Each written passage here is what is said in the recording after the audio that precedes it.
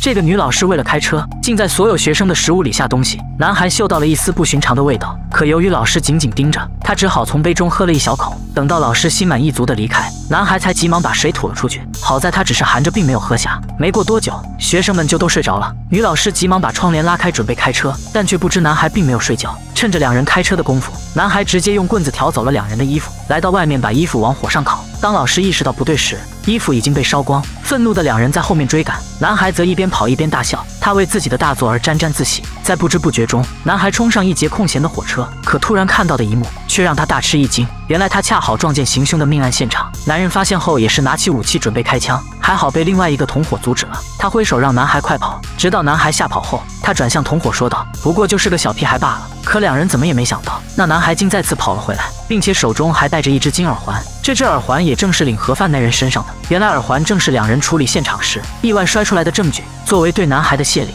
男人给了他瓶八二年的茅台。男孩咬着牙一口闷掉。男人问他的姓名，然而男孩却沉默不语。男人看他喜欢沉默，于是就给他起名叫默。这么不爱讲话，那就叫默。叫什么？林默。从现在开始。男人就是林默的师傅了，而师傅的工作也不简单。他们为一个名为“笑脸”的组织而工作，专门为组织作案后处理现场。但有一次却出现意外，因为时间用得太久，不料被警察撞见。组织为了保守起见，第二天就送师傅领了盒饭。林默愤怒地想要复仇，从此每晚他都会出现在命案现场，来追寻笑脸组织的痕迹。然而笑脸不但从未现身，即使是发布命令，都用暗号分别寄给某人。哪怕林默着急找出凶手，也不是一两天的事情，而且他还需要隐藏自己的身份。于是他来到学校应聘。他白天的身份是一位化学老师，可今天第一天上班，教导主任就递过来一个垃圾箱，还莫名其妙地说了句：“这个班的学生不吸烟。”因为这个班级让很多老师都辞职了，主任告诉他，即使在上课的时候，也不要把头转过去，因为不小心就会丢掉性命。就当林默转身在黑板写名时，这才想起刚才主任的忠告：千万不要背对他们哦。当他转身时，身后却突然出现两人。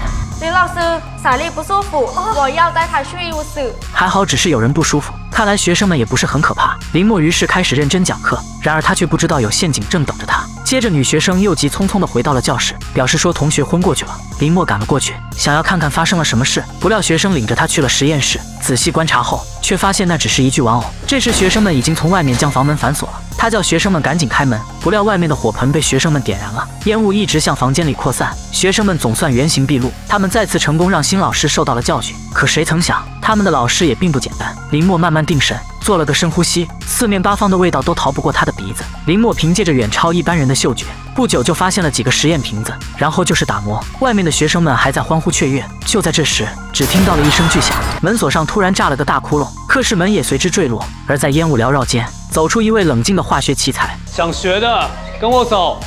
从那时起。林默就成为了全校最受欢迎的人。他那超乎常人的嗅觉不但能自救，而且也能为他人讨回公道。这一天，小美和一个戴牙套的新生发生了矛盾，表示自己的钱被偷走了，就藏在她的柜子里。不过牙套妹却一脸委屈，并没有承认。林默将鼻子凑到衣柜前，轻轻嗅了嗅，直接揭穿了小美的把戏。因为柜子中的护手霜味道和小美身上的味道一样，很明显，小美提前动了这个柜子。想打开一个人的柜子也并不是很难，每一个锁柜中都有相同的锁，只要提前把自己的锁给对方，等四下无人的时候再把钱扔进去，接着再换回锁，一场天衣无缝的嫁祸大戏就此完成。小美手上的锁已经证明了一切，她只好老老实实的承认自己的错误。林默又一次在一片叫好声中从容离场，可他怎么也想不到，可爱的牙套女孩。嘴角带着一丝诡异的笑容，原来她真正的身份不仅仅是一个学生，即使是下一次相见，还险些害死了林默。而林默在晚上执行任务时，他都要在自己的手上涂三层油，只为不留一点痕迹。他化身成为消除罪证的清道夫，无论何时接到笑脸组织的指令，林默总是抢在警察之前到达命案现场，并且以最快的速度消除现场的一切罪行。即使是这样显而易见的谋杀，他都可以靠着细微的操作，完全改变现场的一切。林默不慌不忙处理死者受伤的指甲，接着用他的鞋子把鞋印留在椅子上，然后选择跟伤口一样粗细的铁丝绑在屋顶的上方。很快，现场被他完美的改成了自杀。在离开之前，林默还没忘记把死者的宠物猫给放了，防止其舔舐破坏现场。然后他又很聪明的将室内门反锁，等警察找到尸体的时候，也天真的认为是死者自杀。不过林默虽然行事谨慎，但却发生了一件让他意想不到的事情。这天他赶去现场时，竟有人故意堵车拖延时间，哪怕是他绕路走，在半路上还遇到了被困在轮椅里的老人。无奈之下，林默只能下了车为老人解围。可等他把车开走后，那老人居然从椅子上挺直了身子，他拔出了轮椅把手，竟有一把锋利的匕首。当林默抵达任务地点的时候，刚刚从死者身上找到了一张花店的名片，警察就把这里团团围住了。还好林默很激烈，他把玻璃砸碎了，造成从窗户逃走的假象，然后在警察没有察觉的情况下迅速逃走。不过他虽然从警方手中逃脱，一路上也避开了所有的监控，但还是被一辆行车记录仪拍到了自己的面容。更让林默没想到的是，一眨眼的功夫，他就成了全城的通缉犯。毫无疑问，他变成了替罪羊，只因为警方在案发现场找到一把匕首，而上面带有林默的指纹。这一切都是之前的老人干的。林默恍然大悟，自己已经被人下了圈套，或者说他在组织里的身份已经暴露了。而笑脸组织是要利用警察将自己灭掉。为了自证清白，林默决定对这场任务展开调查。然而他现在唯一能找到的线索，就是之前捡到的花店名片。林默按照地址找到了这家花店，这时花店老板娘出现了。奇怪的是，林默竟嗅到与昨晚同样的香味。然而就在两人说话之际，老板娘却忽然对林默说：“我在你的饮料里下了东西。”林默瞬间跌倒在地。当他醒来时，却发现自己已经被捆住了。老板娘表示，警察已经找到他了，而且还把林默列为首要嫌疑人。原来老板娘正是死者的老婆，她要为自己的丈夫报仇。林默无奈没办法，只能将自己是为笑脸组织做任务的身份说了出来，以证明他并不是凶手。可此刻有顾客突然光临花店，老板娘不得不出去接待。然而当他刚走出去不一会，林默就已经摆脱了束缚，重新获得了行动的主动权。可偏偏再次有顾客上门买花，这一次轮到林墨招待顾客了。然而进门的女人林墨却认识，她正是自己班的转校生涯套妹。原来她是专门来向林墨道谢的，所以这才来到花店为林墨买花。买花。突然，林默被牙套妹偷袭，看着玻璃上又细又长的血痕，这与师傅遇害时一模一样。林默恍然大悟，牙套妹正是来自笑脸组织，自己一直想要复仇的凶手。由于林默被牙套妹偷袭，也导致自己在战斗中迅速败下阵来。幸运的是，老板娘及时赶到，并且利用杀虫剂，直接就把林默救了出来。林默终于找到了凶手，你觉得他会复仇成功吗？可以在评论区告诉我。喜欢视频请点赞关注我，下期更精彩。这个从不写字的女孩，此刻却写断了九十根铅笔。老师一头雾水的走了过去。出乎意料的是，女孩竟在白纸上写满了密密麻麻的数字。老师让她别写了，可女孩非但没停下，反而越写越疯狂。老师无奈，只能收走她的纸。可从这一天开始，女孩仿佛就变了一个人，总是站在操场上仰望天空发呆，就连老师喊她都无济于事。可到了晚上，女孩却忽然消失了。老师找来找去，最后发现她在学校的地下室里。她此刻满脸苍白。而且将之前未写完的数字全刻在了一旁的门上，并且还在不断的念叨：“赶快让一切停下来。”接着，女孩就被学校送到了疯人院。五十年的时间一晃而过，这天学校举行了欢迎会，欢迎入学的新生来临。校长决定把尘封五十年的时光仓拿出来，里面全是第一批学生对未来憧憬的画作。校长将图画作为礼物赠送给新生，有些是画未来火箭的，有的画的是机器人。但小帅却拿到了一幅古怪的图画，上面密密麻麻的写着一些奇怪的数字。小帅不明白这些是什么意思，但他觉得这些数字可能有特别的意义，所以回到家以后，小帅拿着那张画去问父亲阿伟。看着上面的一大堆数字，阿伟也不清楚数字的含义。为了能解决儿子的疑问，他还是想尝试破解一下。毕竟阿伟可是天文学的教授，他最擅长的就是计算和推测。接着，阿伟随手抄了一串数字出来。在调查后，阿伟恍然大悟，开头的数字似乎是一个日期。接着便在网上搜索了一下，出乎意料的是，这一天正是九幺幺恐怖袭击事件的日子。在这次灾难中丧生的人，刚好与日期后的数字相同。这也太巧了吧！为了证实自己的猜测，阿伟连忙把剩下的几行数字都给记了下来，按照这些数字的日期开始上网查询。但万万没想到的是，里面的数字正好对应着每一次的大灾难，而且伤亡数字也一样。这让阿伟大吃一惊，因为这张纸是来自五十年前的，写这张纸的学生又怎么知道将来的灾难呢？阿伟便将这件事跟好友约翰说了一遍，表示里面还有三大灾难尚未出现，而第一次的灾难将会在明天到来，到那时将会有八十亿人伤亡。但约翰却觉得阿伟是在胡扯。接着他质问道：“死亡数字的后面又是什么意思？”可阿伟也一时回答不上来。但他确信数字绝不可能是偶然的。他要约翰帮助他找出下一处受灾的地方，也许这样就可以阻止灾难发生。然而约翰却并不信任阿伟，甚至还觉得他疯了。无奈阿伟只能自己想办法了。回到家便一直等着电视新闻，他要确定这场灾难是不是真的。过了零点整，他便看起全球各大新闻频道。可他看了一夜的新闻，也没有看到任何灾难的报道。阿伟以为自己想多了。然而当他驱车前往公司的时候，道路上忽然出现了交通堵塞。在堵车的时候，阿伟打电话给了约翰，他向约翰表示歉意，告诉他不要和自己生气，还有那个预言也是假的，并未出现什么大灾难。就在这时，阿伟看着导航上的经纬度，这个数字怎么这么眼熟？他连忙拿出纸条查看，果然在纸上发现了和导航一样的数字。原来死亡数字之后代表经纬度，要是那样的话，阿伟目前所处之地正是这场灾难的地点。会不会是前方出了车祸才堵车呢？阿伟连忙下车出去查看，经过询问才知道前面真的出车祸了，还好没有人受伤。但警察的话才说完，看到前方的情况，吓得立马拔腿就跑。阿伟回头看了一眼，看到一架大型飞机笔直的朝地面坠落。接着，在不远处发生了爆炸。阿伟没时间考虑太多，第一时间赶了过去。此刻雨势变得更大了，然而并不能熄灭那无情的火焰。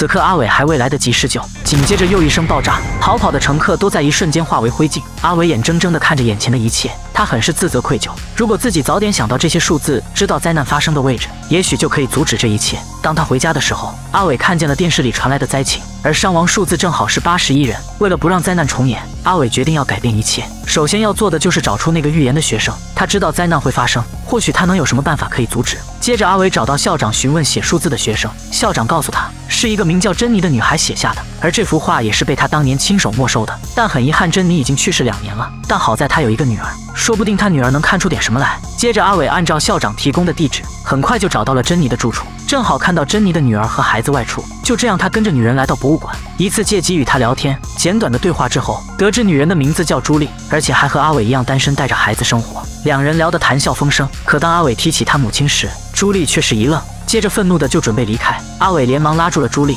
并说他的母亲能预知未来，有一个大灾难已经发生了，而明天还会有另一个，那将是两百条人命丧生。他想让朱莉帮助他想办法制止这场灾难，但朱莉却告诫阿伟别再来烦他。说完就带着女儿走了。无奈阿伟只能自己想办法了。他在数字中得到了暗示，很快就发现了下一次灾难的地点。阿伟给警局打了个电话，表示明天将会有一场灾难，想让警察尽快关闭那里。接着便匆匆地挂了电话。隔天，阿伟担心地来到灾难的地点查看，意外的是，警察并没有封锁现场。阿伟警惕地打量着四周，害怕灾难会突然大祸临头。他很想找到引起灾难的罪魁祸首。没过多久，就到达了地铁站。很快，他就找到了一个形迹可疑的人。四目相对后，下一秒，男人拔腿就跑，阿伟则紧随其后。此刻，可疑的男人跑上了列车，警察连忙拔枪示警。阿伟表示，他很有可能就是恐怖分子。警察警惕地缓缓靠近，可谁曾想，男人并不是什么坏人，他就是一个卖录像带的。可就在这时，隧道有辆行进的列车拖出轨道，朝着阿伟的那辆列车撞去。阿伟连忙让大家赶紧逃，但为时已晚，还是有不少人没能及时脱险，被疾驰而来的列车撞倒。巨大的冲击力顷刻间把车站夷为平地。果然，灾难还是来临了。还好阿伟逃过一劫。当他回家后，朱莉却忽然来找他，表示自己会想办法阻止灾难发生。原来他之所以不喜欢母亲，是因为母亲曾告诉他，他会在今年的十月十九日出车祸而死，也就是在三天后。可朱莉还是不肯相信母亲。当他听到地铁出事的消息后，最终还是相信了一切。不过让两人疑惑的是，写在纸条上的最后一行却只有十月十九号的日期，不仅没有确切的位置，而且也没有伤亡数字，而是用两个字母 E 代替。为了找出真相，他们来到母亲的老宅寻找蛛丝马迹。阿伟的目光被墙壁上的报纸吸引住了，上面贴的都是各种大灾难。两人查半天，始终没发现有用的东西。正当阿伟要走的时候，忽然他在床底下发现了一堆石子。阿伟趴下查看，出乎意料的是，他在里面发现了许多数字。阿伟准备将床板抬起来，可看到里面后却大吃一惊。原来纸条上的最后两个亿代表所有人，那这也就说明三天后的灾难会让地球上的人类全部抹去。就在这时，外面忽然响起了喇叭的声音，两人急匆匆地跑了出去。原来是儿子不小心按到喇叭了。接着他表示自己刚才与妹妹坐在车里，忽然有个陌生人出现要把他们带走。警惕的阿伟顿时四下打量起来，果然他察觉到了不对，那人正在附近。阿伟连忙掏出了一把手枪，让朱莉把车子锁上，接着连忙追了上去。但不料逃跑的男人却停了下来。阿伟询问他是谁，但神秘男并未回应。他慢慢的转身，目光紧紧瞪着阿伟，紧接着张开了嘴，一道强光从他的口中飞出。阿伟本能的捂住了双眼，可等他反应过来时，神秘男已经不见了踪影。他不明白为什么神秘男要带孩子们走，但阿伟有一种预感，神秘男或许与灾难有关。而朱莉也表示最近被人盯上了，不会就是那个神秘男吧？可如今当务之急，他们要尽快破解最后的预言。但在朱莉看来，最后的数字很可能是母亲胡乱写的，毕竟那时母亲已经精神恍惚。朱莉仍不愿意相信大灾难降临，她是真的想不明白，到底什么样的灾难能摧毁整个人类。但当夜幕降临的时候，小帅在睡梦中睁开双眼，周围传来了说话声，小帅吓得起身查看。出乎意料的是，神秘男再次出现了，小帅被吓得全身冷汗。接着，神秘男对着小帅背后一指，房间的窗户就亮了起来。小帅似乎已经像被控制住了，他下意识地走到了窗边，见到外面的世界都被火焰吞没了。与此同时，动物们也在哀嚎。当火势继续扩大时，整个屋子也将要烧毁。此刻，阿伟耳边传来一道叫声，他赶紧上楼去看了看，看见儿子正蹲在屋子角落里哭泣。原来刚才的一切都是小帅做的噩梦。阿伟安抚儿子不要害怕，可此刻阿伟却发现神秘男的身影再次出现，他连忙拿着铁棍追了出去，没想到神秘男再次消失在树林中。第二天早上，阿伟忽然看见朱莉的女儿正在画画，他问女孩在画什么，女孩展示说自己在画太阳。阿伟见状，脑海中灵光一闪，接着急忙忙赶到了观测台。查看最近太阳的数据，这才查到上个月的太阳出现了反常现象。计算了一下后，阿伟总算是明白这场灾难的原因了。如果他计算正确，那么太阳极大程度将会喷发超级耀斑，那样地球上的臭氧层将会遭到破坏。当臭氧层消失的时候，一切生命都将在顷刻之间灰飞烟灭。阿伟此刻彻底坐不住了，他必须得在灾难发生之前，尽快的想出拯救全人类的方法。阿伟很快就和朱莉说了这件事。朱莉提出要带着两个孩子去防空洞避难，阿伟无奈的答应了。在没有找到解决的办法前，他也只能这么做了。接着两人便回家收拾行李。然而在动身之前，阿伟注意到了儿子的不对劲。小帅正在一张白纸上胡乱写着数字，就像当年朱莉的母亲一样。阿伟一把抢过那张纸，可小帅却还在继续看着儿子写的数字。阿伟若有所思，接着他马上驱车去了朱莉母亲所在的学校。他想起了校长告诉他的话，在那张预言纸上数字并没有被填满，剩下的被雕刻在了地下室的门上。或许门板的数字可以破解这场灾难。没多久，阿伟就发现了那扇门，他把这扇门拿了回家。朱莉也是一头雾水，她觉得此刻最好的办法就是躲在防空洞。阿伟则不停地擦着门板，试着找出上面的数字。朱莉不得不独自将两个孩子送到避难所。没多久，阿伟把剩余的数字给刮了出来，然而数字的坐标却是朱莉母亲的老房子，但朱莉已经带着孩子离开了。此刻，他来到加油站加油，电视上也正报道超级耀斑的新闻，警察呼吁所有人尽可能的藏到地下室。可就在这个时候，那个神秘男又出现了，迅速就带着两个孩子离开了。朱莉看到这一幕，连忙驱车跟上，可谁曾想他开到一半就出了事故。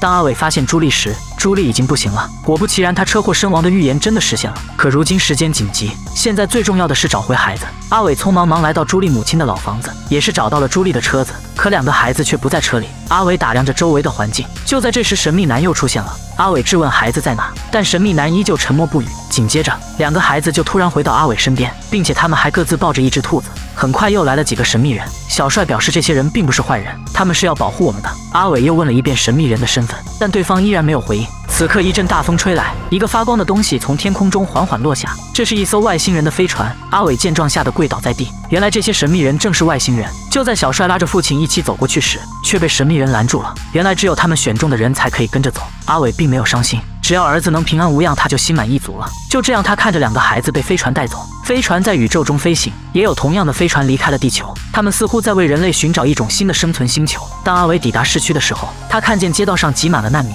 原本井然有序的城市，此刻却是一片狼藉。阿伟此刻也并不在乎了，他要在最后的时间里。回家陪着父母家人一起度过。太阳耀斑最终爆发，顷刻间整个大地都被这股热浪所笼罩。最后一个预言最终实现，地球上的一切人类和生物全部消失殆尽。但这并不代表人类就灭亡了。那些逃出去的孩子们，或许也能在下一个星球找到生存之地，延续人类之光。喜欢视频请点赞关注我，下期更精彩。从来没见过这么紧张的考试，小林想在这场考试中完美作弊，接着在橡皮上写下了答案，用来传给后座的闺蜜。不料黑板擦顿时朝她飞来，小林顿时惊出一身冷汗。不要交头接耳。当他把头抬起来时，没想到监考老师正盯着他，看来这下完蛋了。作弊的难度可想而知，太难了。时间过得很快，考试马上就要结束了。后座上的闺蜜欲哭无泪，小林一直在等待机会。这时老师昏昏欲睡，打了个哈气。看到这一幕，小林当即出手，他很快就把鞋脱了下来，然后将答案插入其中，接着一脚向后踢去，鞋子准确地踢到了闺蜜的脚下。小林以为一切都万事大吉了，不料老师猛地一拍桌子，豁然起身，简直让人不寒而栗。接着老师直接走向了他们，两人顿时吓得脸色苍白。看来是被老师发现了，却没有料到老师就这么走了。原来他只是脚麻下来走动下。紧接着，两人要立刻抹去所有作弊的痕迹，于是打算换下鞋子。只见闺蜜把鞋子脱下，没想到她这一脚直接就把鞋子踢到了别处，这脚法简直太绝了，跟中国国足有一拼。而在这个时候，老师马上就会经过，中间的鞋子很快就会被发现。这时，小林立刻站了起来，一脚踩在了鞋子上，但这样他就必须要面对老师了。他到底该怎么交代呢？还好他灵机一动，草稿纸上要写名字吗？当然要写。接着，小林提早交了试卷，正好挡在老师的面前，也是顺利的帮助闺蜜抄完了答案。闺蜜也是在考试中获得了好成绩。小林嘱咐闺蜜一定要保密，然而不料闺蜜却把这件事告诉了她的男朋友小帅。于是小帅也要小林帮忙作弊，并且会给小林报酬，每一科会支付三千元，总共有十三科，在外加小帅的五个兄弟，一场考试小林就能赚到二十三万，数额很吸引人。可小林却一口回绝，因为他有自己的原则。可是当他回家的时候，没想到意外在抽屉里找到了一张收据。小林于是改变了主意。其实小林是一名高智商的学霸，但小林家里却过于贫穷。好在这所贵族学校为了招揽学霸小林，甚至不惜为他免去学费。然而谁又能想到，学校里还有高额的隐藏费用？父亲为了不给女儿增加压力，于是便瞒着她承担费用。看着自己的父亲辛辛苦苦了半辈子，小林心里很不是滋味。等他在钢琴旁坐下时，心中也有了一个大胆的计划。如果想让这么多人一起成功作弊，那就必须快速的传递答案了。这个方法就是用声音来代表 A B C D。那么如何把答案与试题的顺序匹配起来呢？小林于是灵机一动，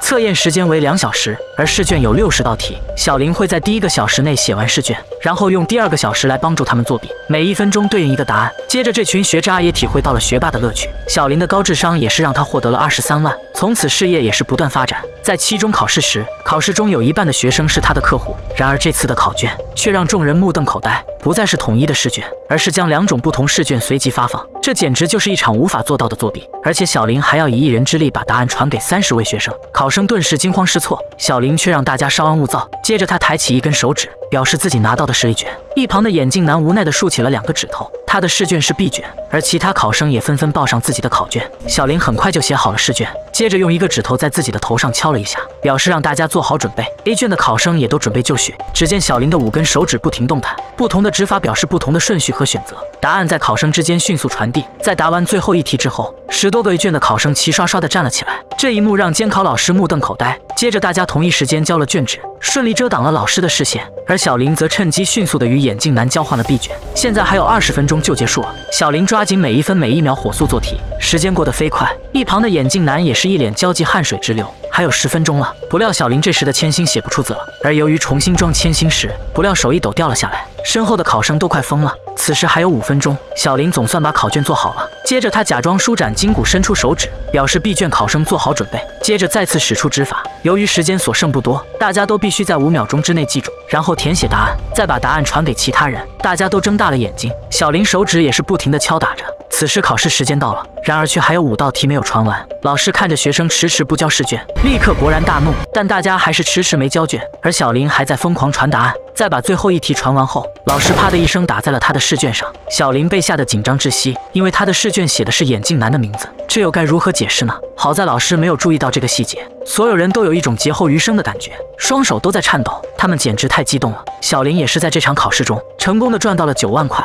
可小林还没来得及松一口气，他和眼镜男就一起被请到了校长室。原来是有其他人举报眼镜男作弊，因为他在考场总是偷看小林的试卷，于是要求眼镜男重新考试。就在他们要露馅的时候，好在监考老师走了进来，把两人的试卷都拿了进来，因为他俩的试卷不一样，也使眼镜男不再被怀疑是作弊。小林这才稍稍松下一口气。然而下一秒又被校长叫住了，原来发现他的草纸上有另一套试卷的答案。小林难以解释，现在铁证如山，最终他的奖学金也被取消了。时间一晃，他们就快毕业了。闺蜜想和小帅一起去美国留学，于是怂恿小林也来参加考试，好让小林在考试上多给他们一些帮助。小林一口回绝，因为去美国的 STIC 考试是全世界最严格的。不过等小林看到时钟时，一个完美的计划再次在他的脑海中浮现。由于 STIC 考试都是同一时间开始，但澳大利亚与泰国之间的时差却有三个小时，跨国界的考试作弊完全有可能实现。小林随即打算去澳大利亚考试，而闺蜜和男友便在泰国等他传来答案。在考试之前，监考老师会将学生的电子设备全全部拿走，但这并不重要，因为他们提前准备了手机，早就藏在了马桶的盖子下。